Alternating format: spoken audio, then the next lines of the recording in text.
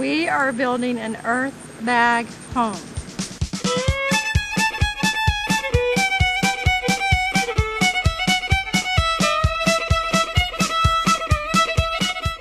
And it's gonna be very green. It's gonna be crazy green. It is where you make it out of bags and tires, and you can build it even out of bottles. You can see for yourself, it's similar to crop circles, only it's just a little bit different.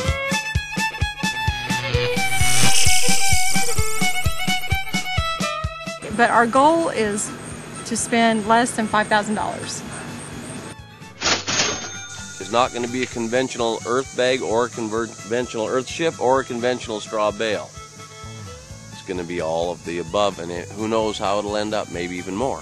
And you make it into a little circle until you get to the top. We put one row of tires and then we'll start with the bags going around and around and around until we get all the way to the top.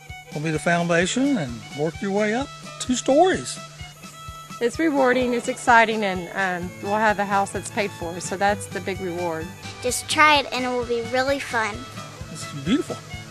Okay, we found our center pole, and um, Paul made this concrete and tire holder to hold the center pole.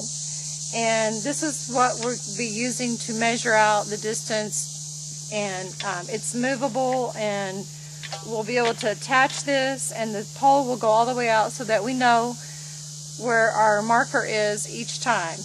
We're also using a string with um, little markers on the ends so we know where 12 feet is. So these two should keep us exact all the way up to the top.